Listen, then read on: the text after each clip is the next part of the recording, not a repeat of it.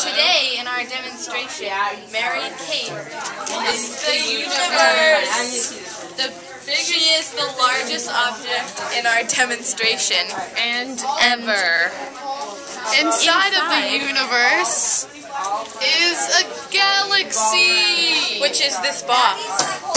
Inside the box, The galaxy. Inside of the galaxy, we have solar, solar systems. Inside Inside of the the solar system, we have googly eyes, which are planets, beads, which are stars, and glitter, that is moons.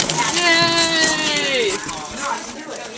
The rice at the bottom of the bag, Undiscovered space objects, such as asteroids, satellites, comets, meteors, or anything else people haven't discovered.